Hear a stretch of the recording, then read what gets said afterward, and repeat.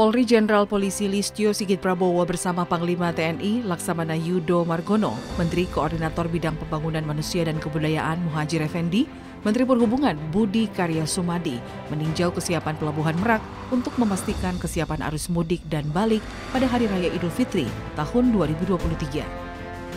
Peninjauan yang berlangsung pada Senin 10 April 2023 ini dilakukan mulai dari pintu masuk pelabuhan, area dermaga penumpang, hingga area dermaga kendaraan. Kapolri dan rombongan memastikan segala kesiapan fasilitas dan manajemen pengaturan di Pelabuhan Merak telah rampung. Begitu juga dengan kesiapan dermaga tambahan di Pelabuhan Cuan dan Banten yang sudah siap digunakan untuk arus mudik. Alhamdulillah, tadi dari hasil pengecekan bersama Eh, sudah ada beberapa penambahan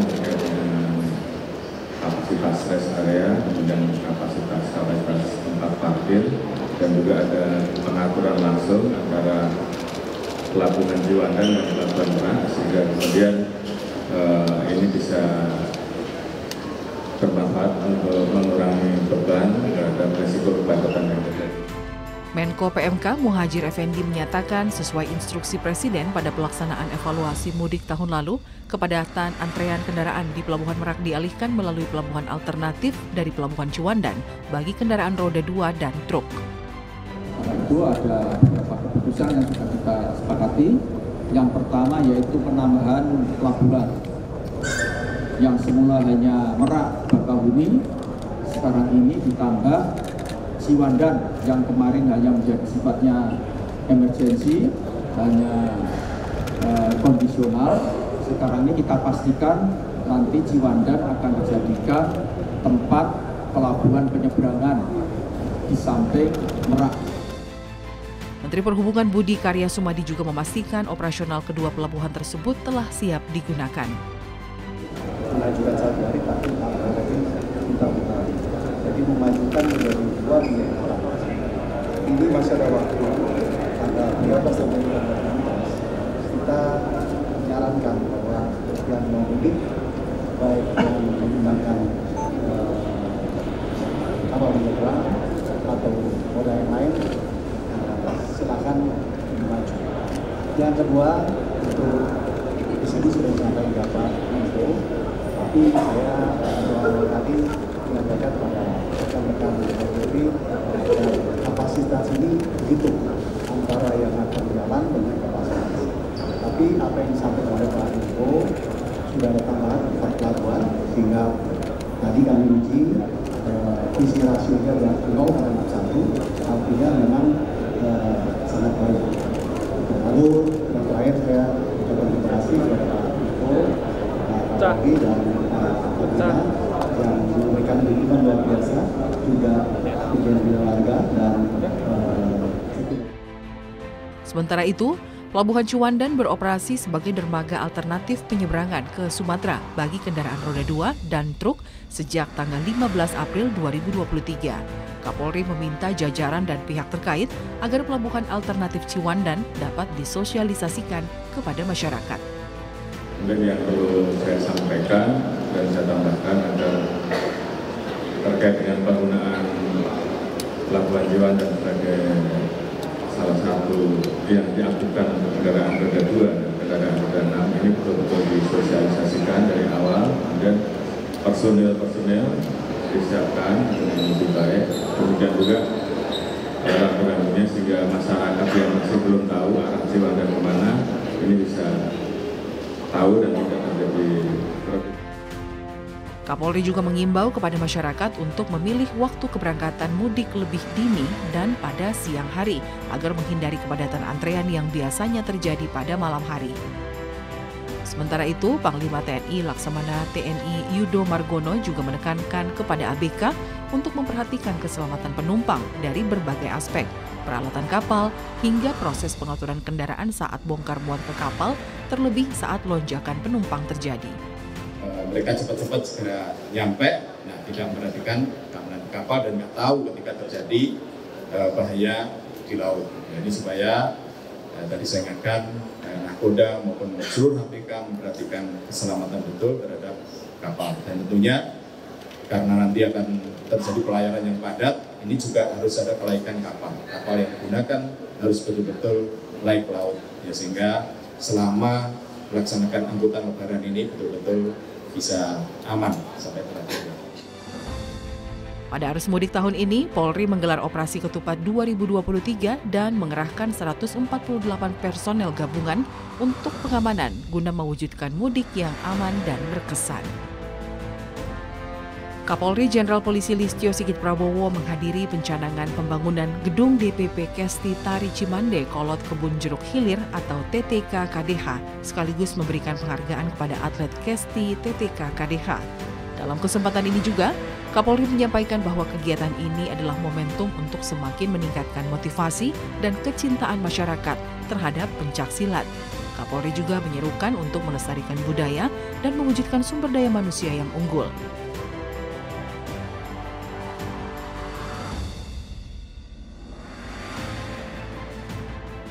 Selasa 11 April 2023, Kapolri Jenderal Polisi Listio Sigit Prabowo mendampingi Presiden Joko Widodo meninjau kesiapan Pelabuhan Merak dan Ciwandan, Banten jelang arus mudik Idul Fitri 1444 Hijriah tahun 2023.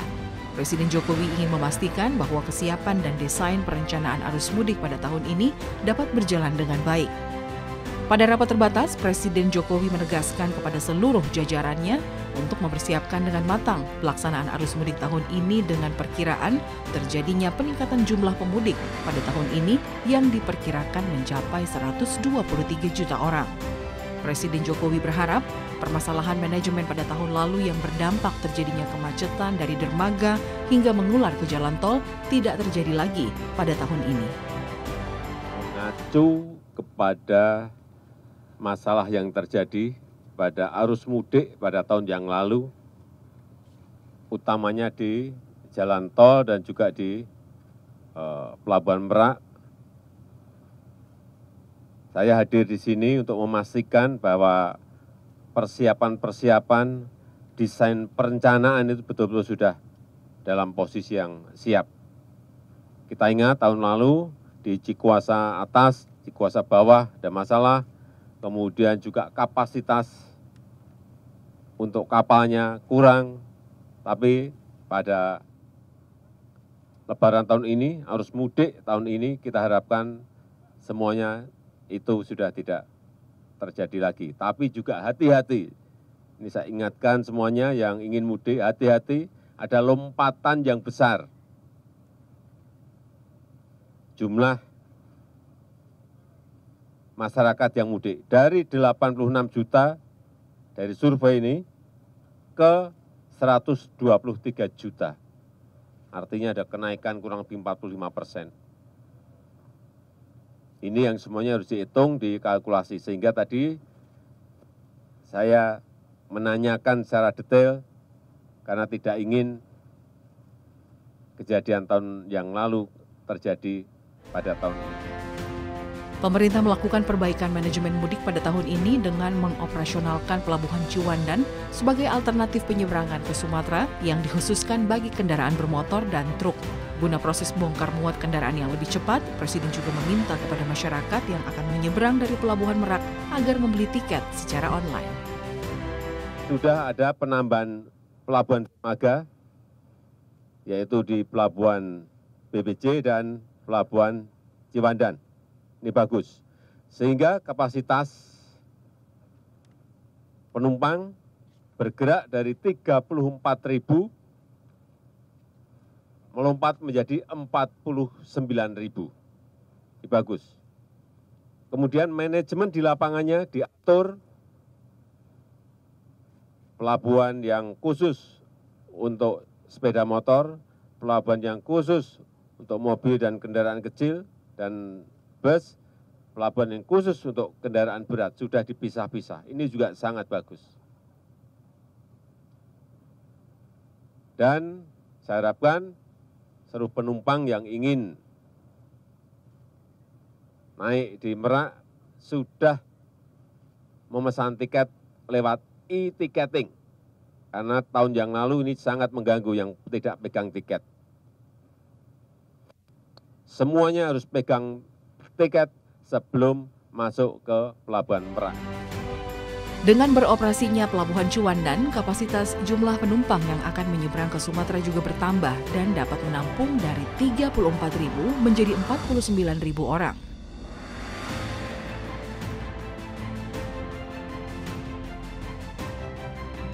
Kapolri Jenderal Polisi Listio Sigit Prabowo memimpin upacara Korps Raport atau kenaikan pangkat setingkat lebih tinggi terhadap 11 perwira tinggi atau Pati Polri. Kegiatan ini berlangsung di Rupatama Mabes Polri Jakarta Selasa 11 April 2023. Pati Polri yang naik pangkat dari Irjen menjadi Komjen adalah mantan Kepala Polda Metro Jaya Fadil Imran.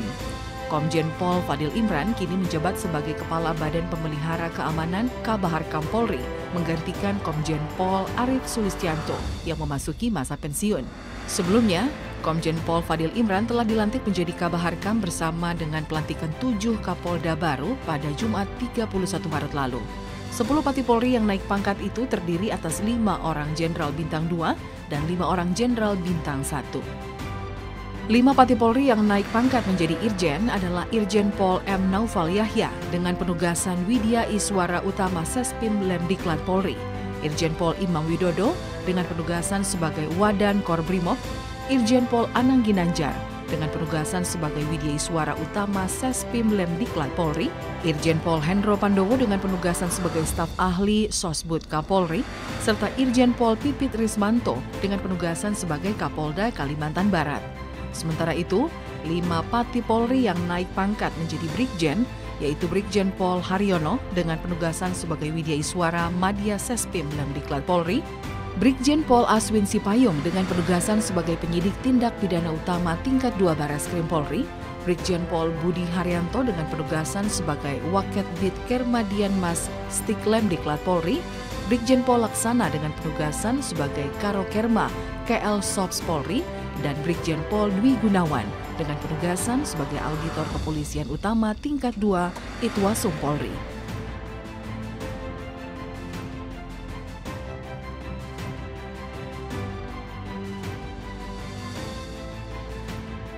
Kapolri Jenderal Polisi Listio Sigit Prabowo bersama sejumlah pejabat utama Mabes Polri menghadiri rapat dengar pendapat yang digelar Komisi 3 DPR RI. Kapolri menyampaikan capaian program kerja tahun 2022 dan juga rencana kerja di tahun 2023.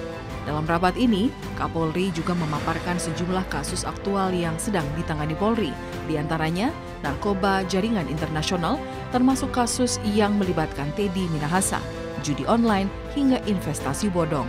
Sementara terkait pemilu 2024, Kapolri mengatakan Polri telah bekerja sama melalui perpanjangan nota kesepahaman dengan KPU dan Bawaslu menjadi landasan sinergitas di lapangan dan mewujudkan penyelenggaraan pemilu dan pemilihan serentak yang berkualitas dan berintegritas.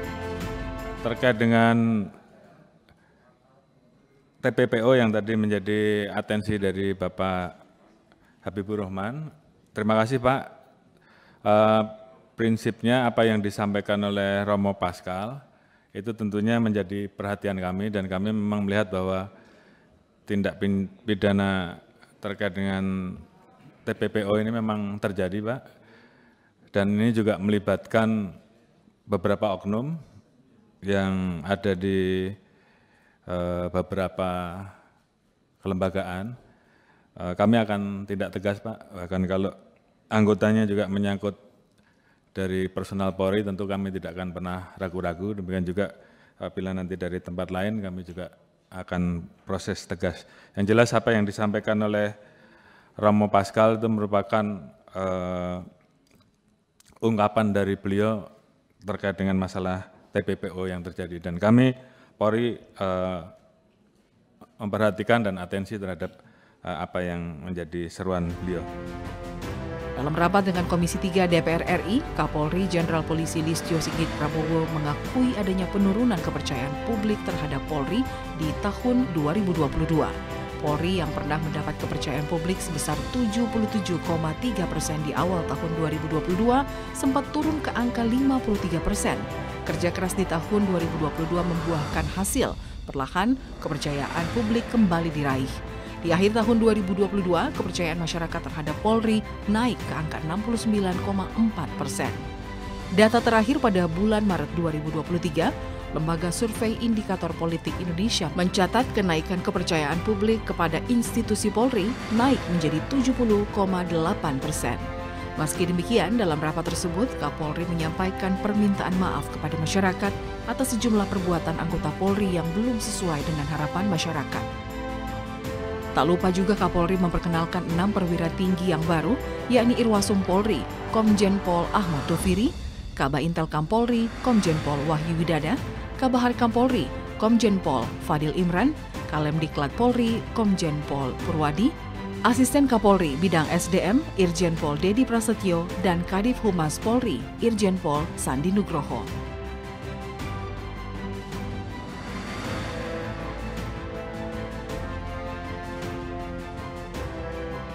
Sabtu 15 April 2023, Kapolri Jenderal Polisi Listio Sigit Prabowo melakukan peninjauan arus lalu lintas mudik jelang Hari Raya Idul Fitri. Peninjauan dilakukan melalui pantauan udara menggunakan helikopter dari Jakarta ke wilayah Jawa Barat dengan melintasi jalan tol Jakarta Cikampek hingga ke wilayah Cirebon dan Bandung. Pantauan udara ini juga dilakukan untuk meninjau ruas jalan alternatif yang akan digunakan para pemudik. Dalam pantauan Kapolri kali ini, kondisi jalan terpantau ramai lancar dan kondusif. Peninjauan ini dilakukan untuk memastikan perjalanan mudik berlangsung aman dan lancar. Pada operasi ketupat tahun 2023, Polri mengerahkan 148 ribu personel gabungan untuk mengamankan perjalanan mudik yang aman dan berkesan. Untuk memastikan kesiapan operasi ketupat, Kapolri menyempatkan diri memantau jalur mudik dari udara. Dalam kunjungan ke kantor PP Persis untuk menyalurkan bantuan 30 ribu paket sembako, Kapolri mengimbau masyarakat yang akan mudik untuk berangkat lebih awal. Menurut Kapolri, sudah terlihat peningkatan jumlah kendaraan yang melakukan perjalanan mudik sejak Jumat 14 April. Kapolri juga telah memberikan arahan kepada seluruh jajarannya agar evaluasi mudik sebelumnya benar-benar dilakukan. Kapolri juga mengimbau para pengguna jalan untuk berhati-hati dan saling menjaga untuk mewujudkan keamanan dan kenyamanan dalam berkendara. Dalam rangkaian kegiatan kerja di Jawa Barat, Kapolri Jenderal Polisi Listio Sigit Prabowo mendatangi kantor PP Persis untuk menyalurkan bantuan sosial. Setidaknya ada 30 ribu paket sembako diberikan kepada PP Persis dan paket sembako ini terdiri dari beras, minyak goreng, tepung terigu, gula pasir, mie instan, dan susu kental manis. Kapolri berharap bantuan ini dapat meringankan beban masyarakat yang membutuhkan, terutama menjelang Hari Raya Idul Fitri. Alhamdulillah baru saja kita melaksanakan rangkaian kegiatan dalam rangka mendistribusikan sembako untuk bantuan bagi masyarakat yang saat ini mungkin terdampak karena memang ada fluktuasi biasanya di bulan Ramadan terkait dengan masalah harga sembako dan mudah-mudahan juga ini juga bisa membantu bagi masyarakat yang memang membutuhkan. Dan terima kasih juga atas kerjasama dan bantuan dari seluruh pengurus PP Persis sehingga uh, sembako yang dibutuhkan masyarakat ini betul-betul bisa tersalur atas dukungan penuh dari PP Persis. Oleh karena itu dalam kesempatan ini saya mengucapkan terima kasih. PP Persis pun menyambut baik bantuan dari Kapolri ini, mengingat banyak warga yang belum sepenuhnya pulih setelah terdampak pandemi COVID-19. Bantuan dari Kapolri ini juga akan diteruskan kepada masyarakat yang terdampak gempa bumi Cianjur karena kondisi pemulihan pasca gempa masih berlangsung hingga saat ini.